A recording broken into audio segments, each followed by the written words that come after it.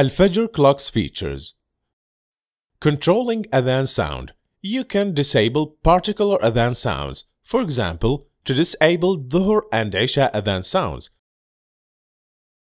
Go to Adhan control screen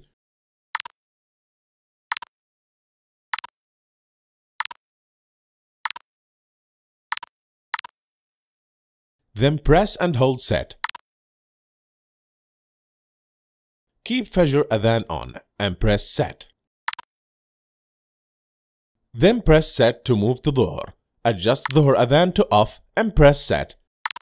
Keep Asr and Maghrib Adhan on. Then turn off Isha Adhan sound and press set. Then press this button to return to the main screen. In this case, the clock will play all adhans except Dhuhr and Isha.